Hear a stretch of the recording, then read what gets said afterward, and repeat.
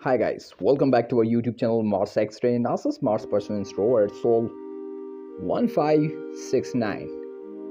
You won't believe that NASA's rover just captured on Mars. This new 360 footage feels like you are standing on the red planet yourself.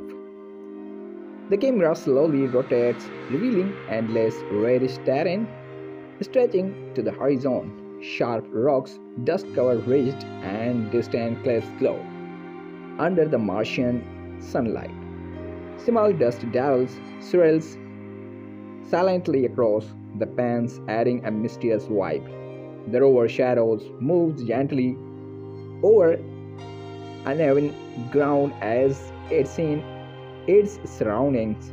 Every frame of this 4K recording exposes raw, untouched beauty that shocks viewers.